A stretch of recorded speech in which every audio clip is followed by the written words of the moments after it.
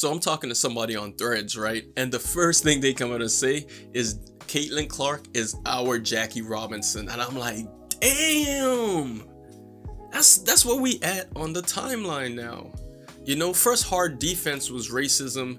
I seen people say like, oh, Caitlin Clark is like the only straight woman in the WNBA and that it's a lot of black people who don't like her. To me, it just looked like some veterans trying to like make a rookie feel bad. And honestly, you know what I think it is? I think it's because Caitlin Clark, you got Cameron Brink, you got Angel Reese, you got these new NBA rookies and they baddies though. You know, so like maybe the vets looking at him like, damn, we weren't no baddies. We don't got no GQ Cause you know the Instagram filled with the GQ WNBA, but they only put the baddies on there, you know. And not saying all of them aren't bad, but that's what that's what they're doing. So you got a sense there's some type of jealousy right here, right? Like you sitting next to like you or standing next to Cameron Brink, who like supermodel, and then you you just there, and like you gonna you gonna have some hate in you, you know what I mean? Or Angel Reese, all of them, they just doing what they doing and they looking good while doing it where I think that's bringing so much eyes to the WNBA and of course everyone's playing ball right? So because Caitlin Clark is struggling out the gate that gives that a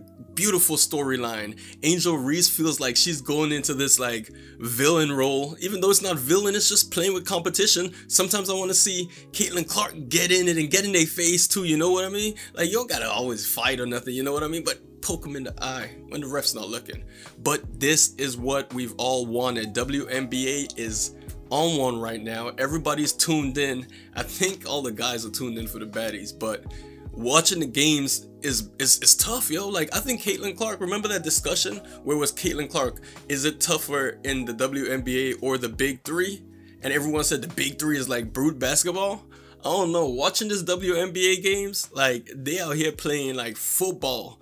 And then you got Pat McAfee saying Caitlin Clark, that white bitch over there. And you know, like he out here saying that so like you could see Caitlin Clark almost being claimed by all, all these like you know i'm guessing the white community um, some people and some people probably don't even support women's rights and what they want for women but because caitlin clark is like someone they're living vicariously through now all of a sudden they care about women's rights. So maybe that is it. Maybe caitlin clark is a catalyst for all these racists out here to then change their point of view and then support women's rights.